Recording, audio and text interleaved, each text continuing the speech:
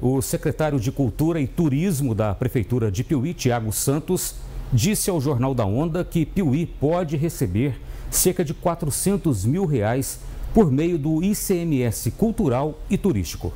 A gente já vem né, com, por exemplo, o ICMS Turismo teve a primeira habilitação da sua história no ano de 2021, com 9,25.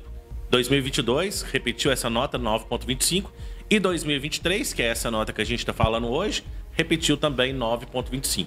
Então, a gente está com habilitação de 9,25 do ICMS Turismo, é referente ao ano de 2023, o ano passado, porque o Estado tem até a metade desse ano para conferir toda a documentação que a gente viu e dar a nota. Então, referente ao ano de 2023, o município está habilitado com 9,25 e começa a receber esse recurso é, a partir de janeiro de 2025. E no ICMS Patrimônio Cultural, nós tivemos recordes de nota a partir de 2021. Né? 2021 a gente teve 14 pontos, 2022 a gente teve 15,20 e 2023 15,16. Então isso é muito bacana, porque é recurso. O recurso do ICMS, a secretaria faz eventos, é, é, faz cuida do patrimônio cultural, né?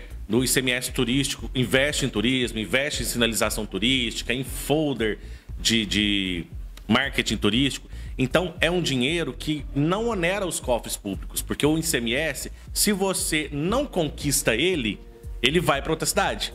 Né? Porque como que funciona? É, é o imposto sobre circulação de bens e serviços. Esse imposto ele, ele vai para o estado de Minas Gerais.